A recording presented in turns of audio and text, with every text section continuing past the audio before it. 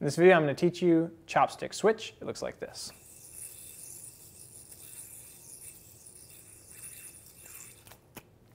This is a basic chopstick combo, which will teach you how to do your basic chopstick mount and the chopstick undermount and some different movements that are very useful for getting in and out of chopsticks that will be helpful when you're learning all sorts of chopstick tricks. Now, to get into the basic chopstick mount, you're going to start by throwing a trapeze, and then what you're going to do is take your opposite thumb and put it over both of these strings like this, and make this kind of C shape with your hand, and you're going to take your throw hand and pop the yo-yo up over the thumb and land it in between just like this. Now, when you learn the trick, there's going to be a few tips that are going to make learning it a lot easier. Uh, the first thing is you want to make sure that the string is as close to the tips of your fingers as you can. You also want to make sure that you spread your fingers out as wide as you can and really maintain uh, that kind of C shape. If you bring your fingers too close together, that won't work. You're also going to find that if you have uh, smaller hands uh, as a younger kid, or if you're using an oversized yo-yo, that the trick can be more difficult to learn. It doesn't mean that you can't, it just means that it will be more difficult. So it's really important to make sure you're, you've got the string at the tips of the fingers and you've got that C shape uh, held really firmly. The other tip is that you want the yo-yo close to your thumb. You can see how close mine is to my thumb. If I've got the yo-yo way out here and I try to land it, it's a lot more difficult. So keep that yo-yo close to the thumb. That'll make popping over really easy. Now the other thing to note about the basic chopstick mount here is when you get into it, you'll notice you can land it either on the string like this, or sometimes you might land it with the string out behind back.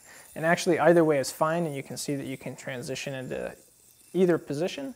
Um, both of those are the chopstick mount, and you'll find that different tricks begin from different positions, either on the string or with the string behind the yo-yo, so it's a good idea to get used to both. Now, the next part of this trick, what we're gonna do is we've got the yo-yo either here or the string can be behind.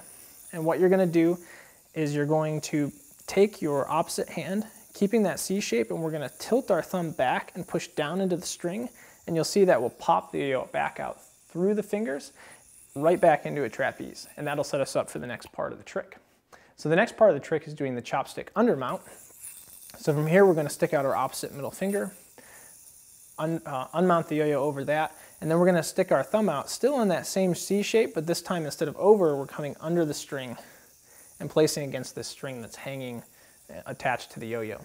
And from there, we're gonna pop the yo-yo up, land right over the thumb, and do a chopstick mount underneath the string. So when you're doing that, all the same tips apply. Again, you want the string near the tip of your finger, and you want to keep that C shape and keep the yo-yo close to your thumb. That will help a lot. To get out, what you're gonna do is you're gonna do that same tilting motion, and at the same time, if you pull on the string with your throw hand, you'll see that that will pop the yo-yo right out. And if your index finger is still in place, you can leave it there, and then let the yo-yo kind of roll around that and land right back into a trapeze. And of course, you can dismount and bring the yo-yo back to your hand however you want. So again, you wanna practice both of these. They're very basic mounts. Um, that will lead into all sorts of different chopstick tricks anytime you're doing tricks between your fingers like that. But there's all these basic concepts within the trick chopstick switch, but once you get it down, that's how you do chopstick switch.